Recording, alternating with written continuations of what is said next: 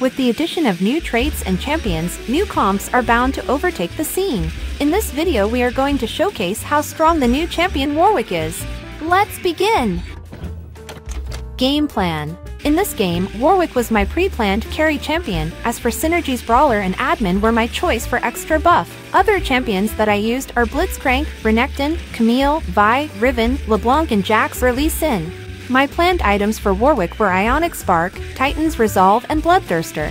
As for augments I went with Knife's Edge, Thrill of the Hunt and Portable Forge. If you're able to get a Warwick hero augment then go with that.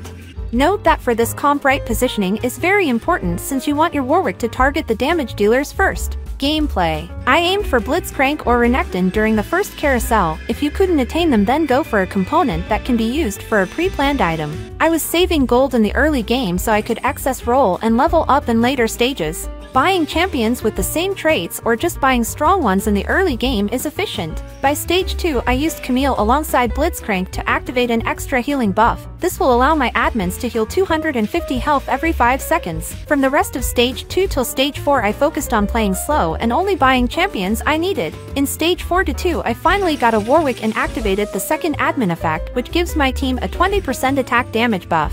From this point I kept the game at a steady pace, rolling to upgrade my champions and leveling up frequently. I planned to 3-star Warwick but luck wasn't on my side, nevertheless even a 2-star Warwick with items is a monster. Enjoy the menace!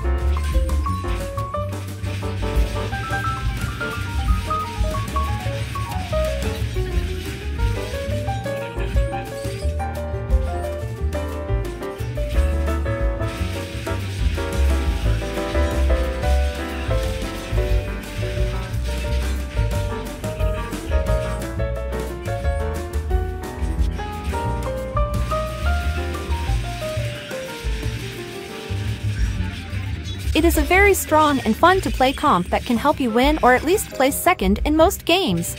Try it out and let us know if you like it or not in the comments below. Also make sure to like, subscribe and follow us on other social media platforms. As always, see you in the next video.